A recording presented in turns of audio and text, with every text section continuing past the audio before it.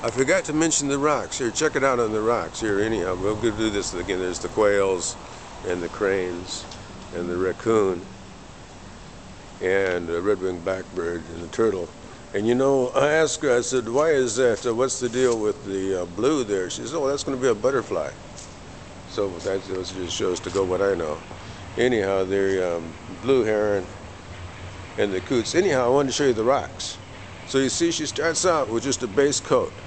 And she's done all the animals like this too. See, it's just gray. And then she comes back and makes them like that.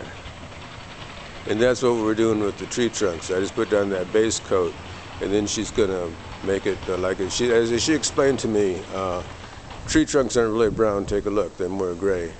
And this is going to be a big log. I haven't quite figured it out where that red, uh, where that uh, western uh, meadowlark is sitting. They're going to do that too. So there we go.